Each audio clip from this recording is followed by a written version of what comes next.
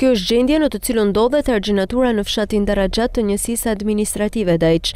Investimi i bërë nga Drejtoria e Ujitjes dhe Kullimit në Lezhë nuk ka rezultuar efektiv, duke bërë që një pjesë e konsiderueshme të shembet.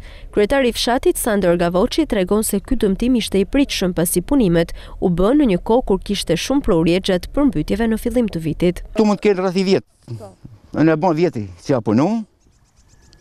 Kanë hedh gur kanë ba një pjesë. Problematika është që gjatë periudhës kur u ba investimi, ishte uji bajagi i rritun, punune, sot gjenja shifet, është shumë e ranë, ka një shemje totale, thush, ka kriju një gropë bajagi të madhe, kjo mund të rrezikojnë shumë, shumë zonën e fshatit Darragjat, se një shpërthim po u ba këtu, këtu përmyt gjithë zonën, ka ka shku, ka shku mi 5-6 metër.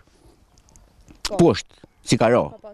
Shemja, prej peshës gurëve, se nën të ka gropë. Ai kërkon që institucionet përgjegjëse të marrin masa para se të nisin reshjet e dimrit. Ju lutemi shtetit, bordit kullimit, në qoftë se ka mundësi me bon punën.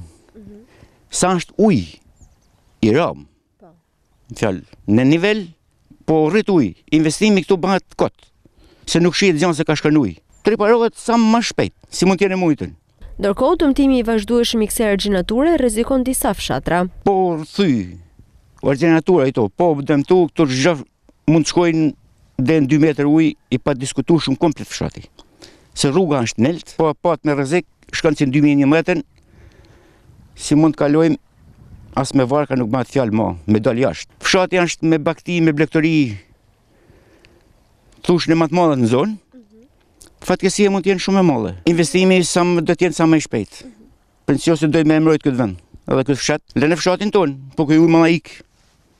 Merr fushat del ka Trushi, shirë se i merr se ktu nuk nalet mo. Aktualisht, Drejtoria e Ujitjes dhe Kullimit është vënë në dijeni nga njësia administrative për shembjen e një pjesë të argjinaturës të fshatit Darragjat, por ende nuk është marrë asnjë masë. Ndërkohë, banorët urojnë që situata të mos përkeqësohet në rast të mosndërhyrjes.